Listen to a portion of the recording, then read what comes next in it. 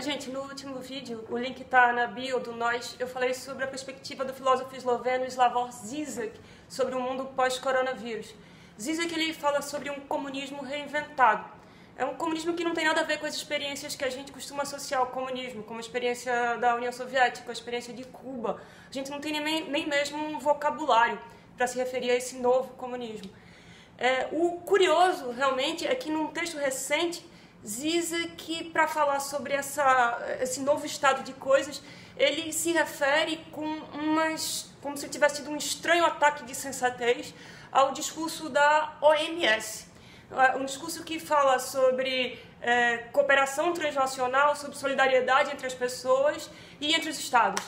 Pois é, é como, por quê? Por que será que é, é esse novo comunismo viria de um pode pode ser verbalizado por uma instituição que parece ser do establishment, como a OMS.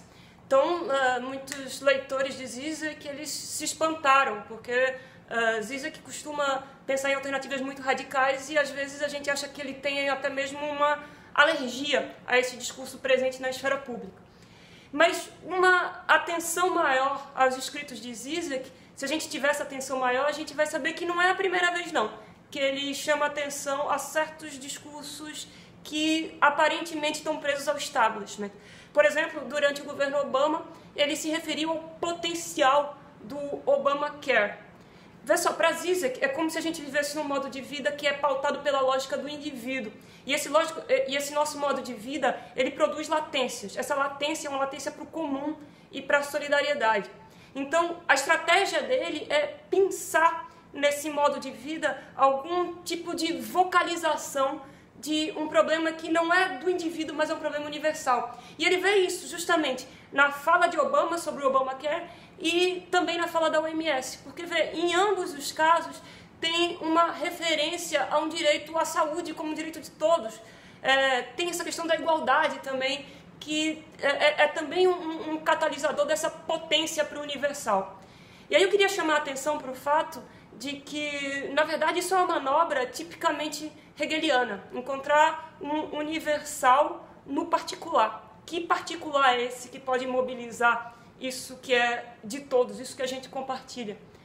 E fica mais interessante ainda se a gente olhar para uh, autoras feministas que vêm que vem dessa tradição marxiana e hegeliana e que vem fazendo uh, um tipo semelhante de manobra. Por exemplo, na tradição feminista, a gente vê um discurso é, muitas vezes pautado nas diferenças. Quer dizer, o que, que, o que, que há de particular em ser mulher, o que, que, o que, que a gente tem de sofrimento específico que é nosso. Só que esse tipo de, de, de, de estratégia, ela pode cair em algumas armadilhas, e caiu, especialmente nas últimas eleições. É, tanto nos Estados Unidos como no Brasil, a ultradireita soube cooptar esse discurso e construir rivalidades artificiais.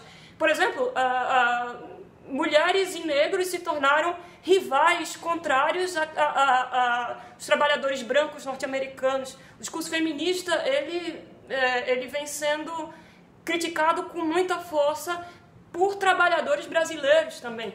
Então, é, como é que a gente escapa desse tipo de rivalidade, que eu vou insistir, que é uma rivalidade artificial e estrategicamente produzida pela ultradireita?